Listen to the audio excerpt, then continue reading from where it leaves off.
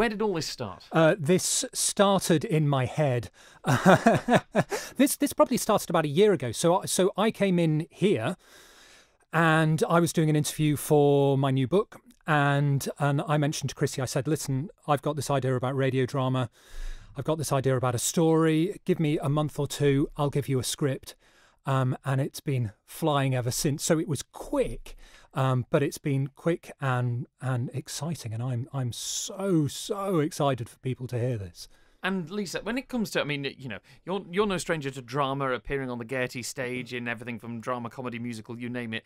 Difference of putting it into a radio environment. How have you found that? Well, it was. I've absolutely loved it. I didn't even have to learn the script. It was right there in front of me. good, Huh? good point. No Didn't have to learn learn. the lines. No, we like that. But I mean, Alex's writing is absolutely fantastic. My son even loves his books, and it, the way he writes is so creative and beautiful that I couldn't wait when I was asked to be part of it to read the script. And then, of course, when I read it, I was over the moon because it's fantastic. Now, I'm going to play a little clip of it in a Mm. moment, but the one thing that I do find with it, and maybe this is because, you know, there's not a huge amount of radio drama done on Yeah. the Isle of Man, is just how much it takes you out of the here and now and into a whole different world, Alex. I mean, how, how do you set about actually doing that? Because you've put it together, you've produced it, you've had to do all the sound engineering and stuff. Yeah, it, it needed a, a lot of obsession and and a, and a lot of time. So I was very particular about the setting that I wanted that I wanted to get from it. But this is this is purposefully as atmospheric as possible. We are we are right in with Hammer horror and with Ealing comedy. It's a very particular tone, but it's this is this is Manx through and through. This is this is as Manx as the hills. So this is as if um, a writer had to in, in the 1940s or 50s write a 1920s horror, but happened to have been on the island on holiday for a few months. It's uh, it's going to be fantastic. I've listened to the whole thing, but let's just have a listen to a little bit of a teaser as to what you can hear this Friday night. Out of the mists and rain she comes. If ever your name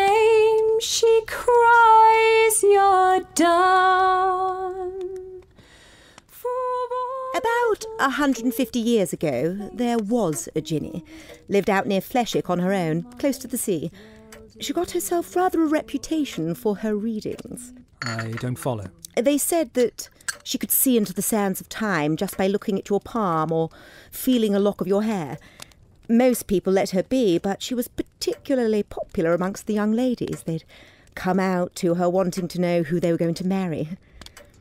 All seemed harmless enough until some young chit didn't like what she was told and started spreading rumours that Jinny was partaking in more sinister practices. You know what the good book says. Thou shalt not suffer a witch to live. She was tried in whatever ridiculous way there was, probably a ducking stool or some such nonsense, found guilty and rolled down a hill in a barrel full of nails. And that was that. Hmm, you'd like to think so. But some say Jinny had vengeance on her mind. Some say her vengeance was so consuming she couldn't rest, not even in her grave. Some say they see Jinny every year or so, screaming and jeering or whispering their name. And if you do see her. It's nothing but an ill omen for an accident or a bad crop. It's bad news, is what it is. And you think your father saw this Jinny, this witch? Not everyone sees the world in such plain terms as you, Hall. I'm not scoffing at you, Joyce, but please understand me. I've heard my fair share of stories like this, and it always turns out the same. There's more to life than what's right in front of your nose. People round here still know that. People round here still hold to the old ways. She'll snuff you out like a candle wick, like a candle. Now, the interesting thing is, I actually heard that clip first before I listened to the whole of the, the, the drama, and uh, it, really is only a taster of what people are going to experience. Also, um, a lot of local influence. I mean, Alex, let's start with the fact that uh, I know Ruth Keggin's in there. There's lo- there's local music in there as well. It's not just literally about the spoken word. Uh, No, absolutely. Um, this is this is a love letter to the island, to its stories, to its landscape, to its people, to its music. So everything in there is is local, but I hope this appeal is broader than just the island. This isn't just for us. This is a very large, engaging story. And uh, Lisa, I mean, as soon as we played the, the clip, I got the uh, sort of inevitable text of where's the Manx accents and things like that. There's there is a wealth of different accents in there, and um, not only that, when it comes to acting, there are a number of different accents there, not just Manx ones that you, you have to get right. Yes, absolutely. I mean, it, it, as Alex says, it is a celebration of the island. It's an all local cast as well, which is very exciting. You know, there's a huge amount of talent, as we all know Mm. over here. Um, so it was very nice for Alex to ask us to all be involved. But um, I mean, part of the story, my character, for instance, is you know she is a local girl um, who was sent away to boarding school. But she loved the island so much that she came back. She couldn't possibly bear to be away from the island. So um, I kind of got that. You know, that's a little bit of my my my my thoughts in there.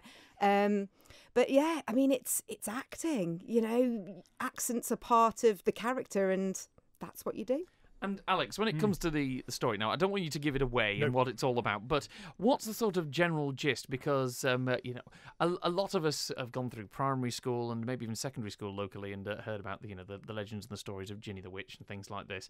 Um, but there are there are some dark moments in there as well, aren't there? There are. I think to call this horror might put people off. This is very much a chiller. So this is all about atmosphere, but there is a strong supernatural malevolent presence in there. Um, but uh, that doesn't mean that there's time for laughs and time for adventure, um, because that's that's certainly the the main crux of it. I think. I, it's incredibly exciting. I mean, Lisa, if people watch the video of this and can see Alex's face then when he's talking about, and th- that was impressive. He's excited now. He's excited. but now. you know, and it's true. I, I am I'm so genuinely pumped from this. I've been very lucky in the arts. I've I've worked as an actor all over the world, and I've written books that lots of people have read.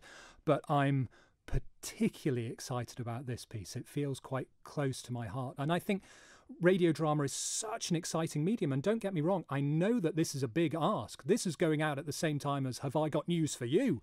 so we we we are battling with this, but you know, we are genuinely saying if people take that chance, sit down with a glass of their favourite tipple or a mug of their favourite brew, they're going to be taken away and have a really really special time. You can't have a, a better, to, to be honest, selling line than that.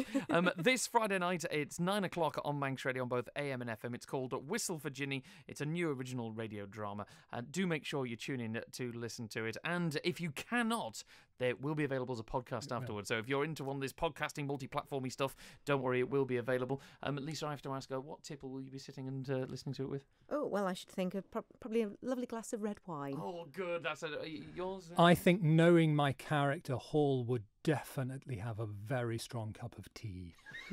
Excellent stuff.